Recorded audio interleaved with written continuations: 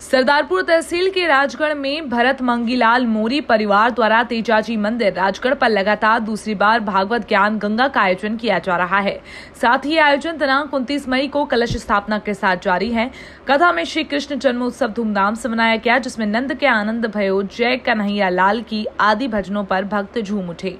वहीं एक दूसरे को हल्दी लगाई और महाआरती और महाप्रसादी का आयोजन किया गया।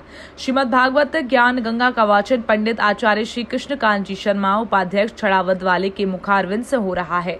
कथा में प्रतिदिन क्षेत्र के भक्त पहुँच रहे हैं, वहीं महिलाओं की संख्या ज़्यादा है।